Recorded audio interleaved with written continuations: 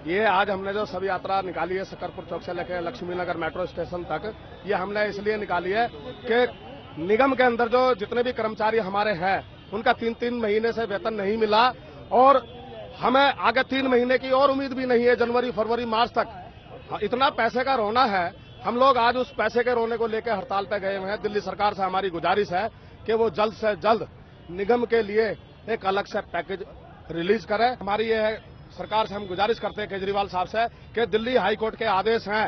आपने कहा था एक तारीख से लेकर सात तारीख तक कर्मचारियों का वेतन मिल जाना चाहिए।